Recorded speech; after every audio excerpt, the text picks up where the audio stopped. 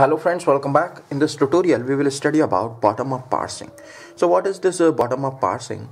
The bottom-up parsing can be defined as an attempt to reduce the input string to the start symbol of a grammar by tracing out the rightmost derivation of input string in reverse. So what happens in bottom-up parsing? In bottom-up parsing, we trace out the rightmost derivation of the given input string in reverse. So how we perform this bottom-up parsing? So to understand uh, how this uh, bottom-up parsing is performed, it means uh, how we trace out the rightmost derivation of the given input string in reverse we must be familiar with this term handle of the right sentential form. Right? So what is the handle of the right sentential form the handle of a right sentential form is the substring of the given input string that matches the right side of the production whose reduction to the non-terminal on the left side of the production represents one step along the reverse of a rightmost derivation. It will be more clear after this example. Now consider this grammar. It has production rules as derives AB, A derives AA and A derives A, B derives B. Now see the rightmost derivation of this string A, A, B. this is the string of terminals. Now we have to consider its rightmost derivation, right? So how we perform the rightmost derivation of uh, this string of terminals A, A, B. So see first the start symbol S right it will derives AB now see this uh, production rule S derives AB right so we will apply this production rule. We will get S derives AB now we have this string AB now see the rightmost non-terminal in this string. The rightmost non-terminal in this string is B. So here we will apply this production rule. B derives B. So what happens? This B will be replaced by this terminal B right? So we will get this string A B. Now in this string you can see the rightmost non-terminal right? The rightmost non-terminal is this non-terminal A. So here we will apply this production rule. A derives A A. Right? So this A will be replaced by A A. Then we will get this string. A A B. So in this string what happens? See the rightmost non-terminal. The rightmost non-terminal is non-terminal A. So here we will apply this production rule. A derives A, right? So what happens when we apply this production rule? A derives A. This A will be replaced by A and we will get this string A, A, B. now see, we have to perform the bottom up parsing of uh, this string A, A, B. So what we need to do? We need to trace out this rightmost derivation in reverse, right? We will start from here and we will move up to there to start symbol we have to trace out this rightmost derivation in reverse right? So how we will do this? So in this uh, procedure at every step we have to find the handle of the right sentential form. So first you see in this string aab consider this substring a. This substring a it exists at the right side of this production rule a derives a. So if i uh, reduce this substring a by the left side of this production rule that is non-terminal A.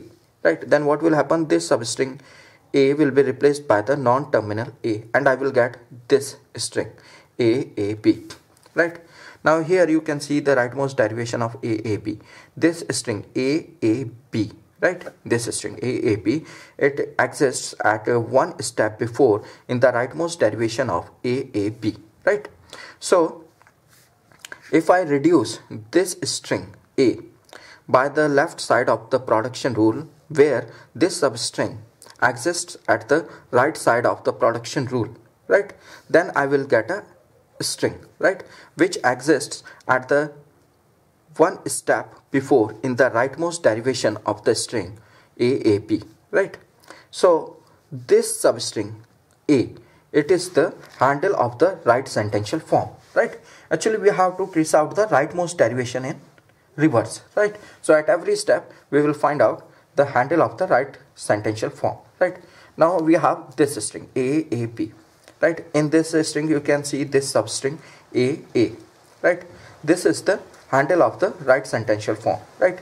Now see this production rule a derives a a. If we reduce this substring a a by the left side of this production rule that is non-terminal A then AA it will be replaced by the non-terminal A and we will get this string AB right? So you can see that this uh, string AB right?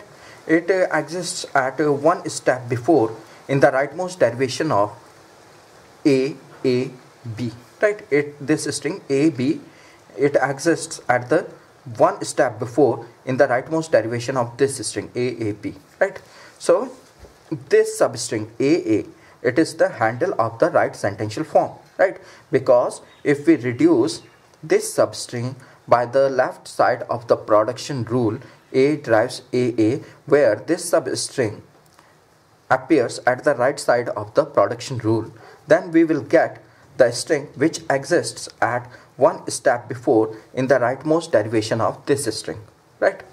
Now we have this string AB now we have to find the handle of the right sentential form in this string AB now you can see this string AB right?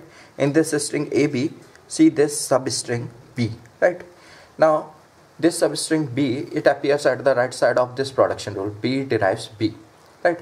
If we reduce this substring by the left side of this production rule that is non-terminal B then we will get this string AB right? So here you can see AB it exists at one step before in the rightmost derivation of string A B right? So this uh, substring B is the handle of the right sentential form in this string AB right? So after that we have uh, this string AB right? Now see this production rule. As derives AB in this production rule this uh, string AB appears at the right side of the production rule right? So if we reduce this uh, string uh, by the left side of the production rule that is non-terminal symbol s or start symbol s then we will get this symbol s right? Then we will get the string having only one non-terminal symbol s right? Now you can see the bottom up parsing of uh, this string aab so you can see here that it is the rightmost derivation of a string aab in reverse